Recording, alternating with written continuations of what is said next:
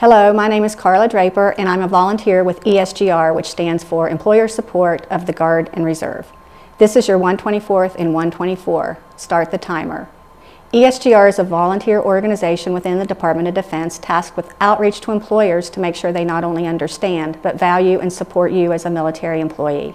We work with service members to make sure you know your rights and responsibilities under USERRA, the federal law that protects you from discrimination based on your military obligations.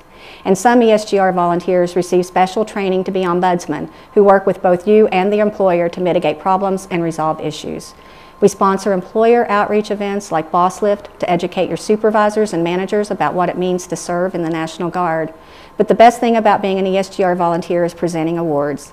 In a few minutes, you can complete a form at esgr.mil to thank your boss or company for supporting your time in uniform. And when the award arrives, one of our volunteers will reach out to schedule presentation of your Patriotic Employer Award. Please remember that USERRA prohibits discrimination for military service and it covers all aspects of your job.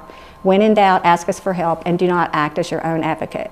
If you need more information or assistance, reach out to our support technician, Jessica Rash, or visit her in Building 270 here on Gowen Field. And now for the news. During the October 2023 Unit Training Assembly, the 124th Fighter Wing conducted unit-level CBRN training to ensure airmen are prepared for a near-peer conflict. Members executed their normal duties in various levels of MOP gear and also practiced additional techniques that may be required in a hostile environment. While donning MOP gear, multiple squadrons received force protection training from the 124th Security Forces Squadron. Defenders provided instruction on base defense, weapons operations, and combat tactics.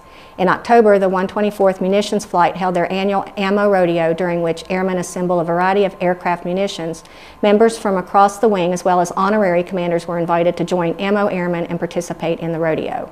Security Forces Airmen conducted firearms qualification training at the Gowen Field Range. This annual training requirement ensures battlefield readiness.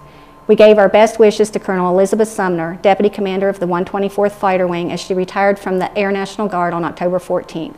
Do you have a story you'd like shared? Contact Public Affairs to be featured in an upcoming edition of the 124th and 124.